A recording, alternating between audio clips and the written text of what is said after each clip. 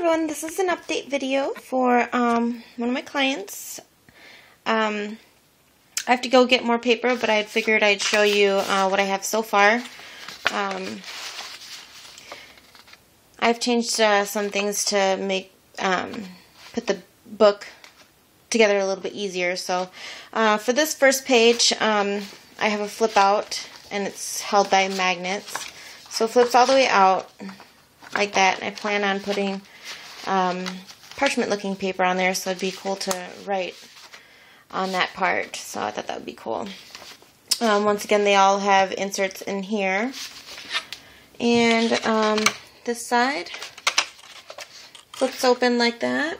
And this will have um, a, a pocket like that way. You'll see more when I have chosen the papers for it. Um, this one is, this one flips out like that and flips open like this.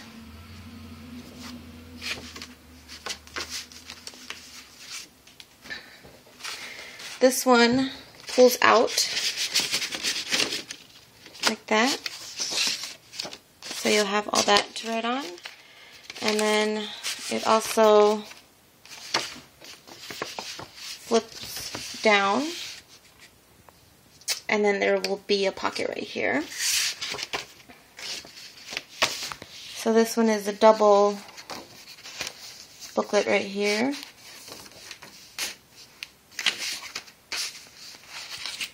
And this will have a um, closure on here. And um, I'm going to put the paper clips in here. Um, if you don't like the paperclip part, Laura, let me know. And I could put a pocket in here or something like that. So um, I have this that opens like that. And um, there's going to be a flip down page some sort in here. And um, this one will be a plain page for writing on. And this is uh, open, opening the opposite way.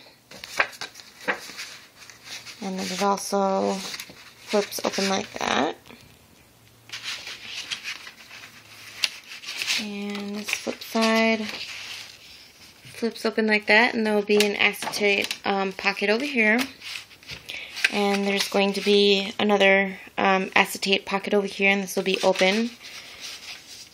So, uh, and this one will open double like that.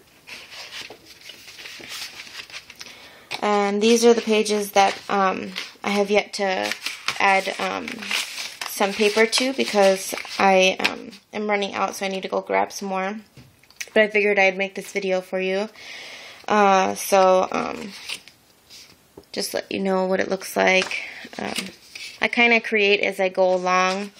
So, when I'm putting it together, um, I'll show you in the next uh, video will be um, me putting the papers on. So that will probably be next week when you see that video. So I just wanted to um, give you a little update on what was going on. And thank you for watching. Bye-bye.